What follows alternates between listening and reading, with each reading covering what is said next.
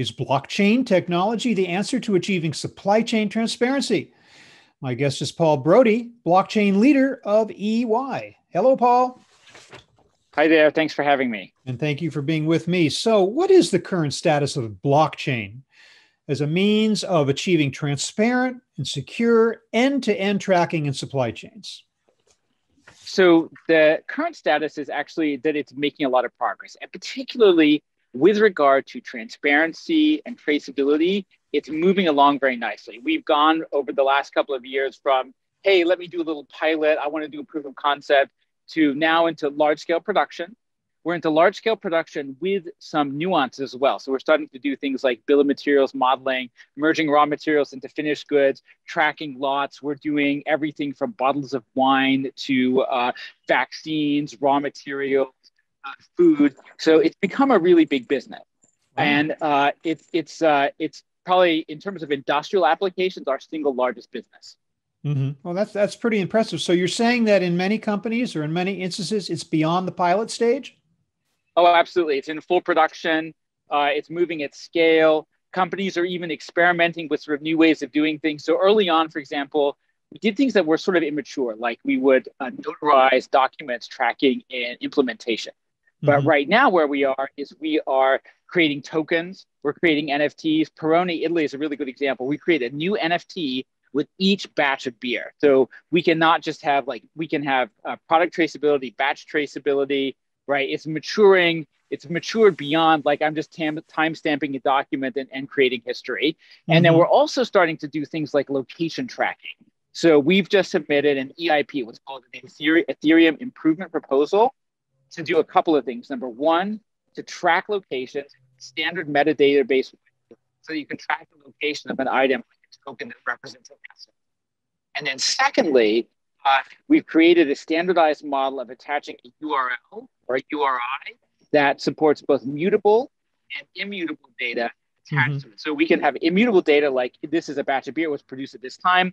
And we can also have mutable data like it's in this warehouse at this location. So uh, we're starting to get quite sophisticated in our implementation of traceability. I, I, don't even know where to begin with all the questions I have about that. I, I, first of all, I thought that immutable was was the whole point of blockchain, uh, that the data it cannot be changed uh, once it goes up on a blockchain. But you're saying that necessarily isn't the case. If the data needs to be changed, it can be, right?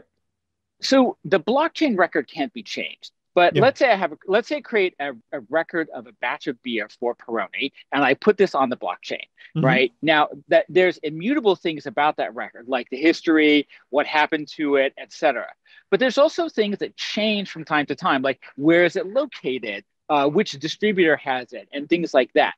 So and when you look at a token on the blockchain, you'd like to see both the, the immutable history data and the current status. Mm-hmm. And so what we've done is we've tried to create a way where you can access both. The stuff that needs to be immutable, that doesn't change, that is, is immutable and doesn't change. The stuff that's up to date, that stuff can be continuously updated. So that's our key I see. goal. Does this involve the participation of miners in order to place uh, place something in a block on a block? Every every block, every transaction involves the, the use of miners. But when you're updating mutable data, what you're actually doing is you're updating a URL with off-chain storage, and the mutable data points you to that off-chain storage that gets continuously updated. I so see. that's how we try to handle things like the split between immutable data that we don't ever want change and we want this permanent record of that stuff really goes on chain as a transaction and mutable data there we want a pointer to that data but that data can change over time Mm-hmm. You know, uh, recently blockchain and, and also more specifically cryptocurrency have come under a lot of criticism for the incredible energy uh, intensiveness of this technology. Is that still the case? Is that being solved in any way when blockchain has is related to supply chain issues? Uh, yes. So m- almost all the criticism and discussion of this is centered on Bitcoin, which is not what we use. We use mm-hmm. Ethereum and we use an Ethereum layer two called Polygon. Um, Ethereum itself is something like 90 times more sort of energy efficient than Bitcoin. And uh, that in turn uh, is, is in shifting to something called proof of stake from proof of work. That mm-hmm. in turn will make it again 99% more efficient than it currently is. So the carbon footprint issue is, I think, is an intermittent one, and it, it's, it's, a, it's a transient issue for supply chain on Ethereum. It's a bit more of a substantial issue for Bitcoin, uh, and that's going to be addressed. It's going to have to be addressed by um, renewable energy inputs into the mining process. Mm-hmm. Is proof of stake an actual? Uh, uh, does it make sense as a replacement for proof of work? Because that does that not favor those who already have the greatest share of, of assets and they can control what's going on on the blockchain because they have the, the bigger stake? Uh, yes, although it is a still a relatively decentralized system and will become more so. And then you can also look at the layer twos, which are, are proof of stake based and are a secondary layer. So you, you have a more uh, equal access into those. So I feel pretty optimistic that it's not, there's no risk of like a 51% attack in the Ethereum ecosystem, uh, at least that, I see right mm-hmm. now. You referenced NFTs, non fungible tokens, which of course have been in the news for other reasons, works of art and little clips of videos and things like that. I'm sure that's not what we're talking about here. What is owned in a blockchain that is created for supply chain tracking when an NFT is involved? You're owning a piece of code, but, but what exactly are you owning and, and why does NFTs come in? Why do NFTs come into the picture at all? So non fungible tokens are really can be used for any kind of unique asset. So if you think about a mm-hmm. batch of beer, it's it is a batch of beer, and in theory, like a beer should, you know, your beer from your your system should change, taste the same all the time. But in reality, each batch is, you know, slightly unique, and for health and safety and traceability reasons, you want to keep track of that. When you own an NFT in that circumstance, you just have data. It's not like ownership of the beer itself. Mm-hmm. What we do want to get to, though, is NFTs and tokens that represent not just the traceability, but the ownership and the location. Because traceability is nice, but if I want to manage my supply chain effectively, I really want to have I want to have traceability. I want to have supply chain management. I want to have inventory management. I believe blockchain isn't just the future of traceability; it's the future of procurement transactions, future of multi-party supply chain management. Mm-hmm. To do that, that token represent the location and the ownership. You reference, do you not, to the notion of an autonomous supply chain, the use of smart contracts. Where does blockchain come in in creating this so-called autonomous supply chain? And what, for that matter, is it an autonomous supply chain? So I've been working in supply chain for a long time. I, I was part of some of the early work i2 technologies. It was a lot of fun. I remember uh, asking one of my colleagues early on, I said, the client keeps talking about Excel. Is it like a supply chain planning system that has the same name as the spreadsheet? And like, no, no, that's the spreadsheet they're talking about. they're running their $20 billion oh, supply chain on a spreadsheet. Mm-hmm. And we've, we, have we have improved, but we're still very manually intensive.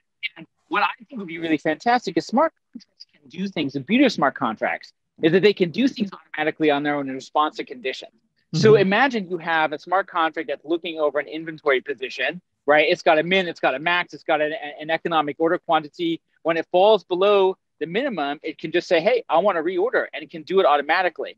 Mm. And when I think about you know some of the crowdsourced and really modern supply chains that we're seeing evolve today the thing that's exciting for me is these things are these things are not top down driven right if you think about car ride sharing services or apartment sharing services they're bottom up driven right yeah. they're driven by the individual participants we can make individual buffers and, and storage locations in the supply chain, in that sense, autonomous with smart contracts, they can reorder for themselves within orders. We can have self-organizing, automated, autonomous supply chains. What obstacles stand in the way of blockchain becoming a mature and a widely used technology for this purpose that we're talking about today?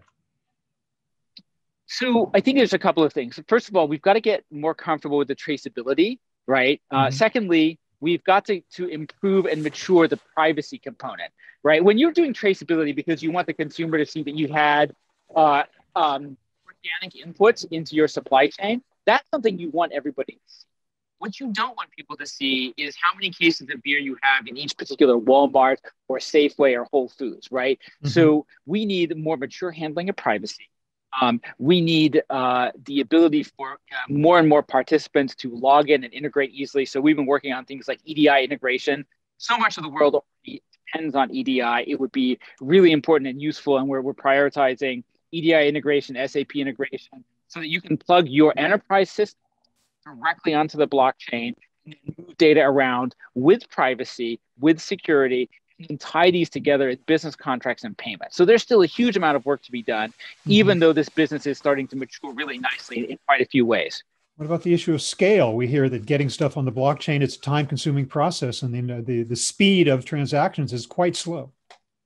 So there there are there's there's scale and transaction processing speed, which have both historically been issues. They're both being addressed in, in different ways. So uh, the first way in which they're being with the creation of layer twos. So what layer two solutions do in the world of Ethereum is they allow me to take uh, a, a, a, if you think of Ethereum, the main public Ethereum blockchain is the layer one. On the mm-hmm. second layer, I can batch up a huge number of transactions, push them all at once onto the network, or just hold them in the secondary layer. So the layer twos, they're not quite as secure, but they're anchored to the main blockchain. They can handle really fast transaction processing times and very low costs. Mm-hmm. That's one big improvement. And for example, we're working with a layer two called Polygon. We're doing quite a bit of work with them. That's that's reduced our transaction cost by 90% over the last few weeks as we switched that on.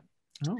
The second thing that's happening is Ethereum itself is undergoing a transition from 1.0 to 2.0. That's going to hugely increase the capacity. And then within the 2.0 roadmap, there's a concept called sharding, which allows for multiple networks to operate together in a way that, that further multiplies the scale. So I feel confident that there's a roadmap to to scale that's larger and faster than the rate at which transaction volumes are at the moment.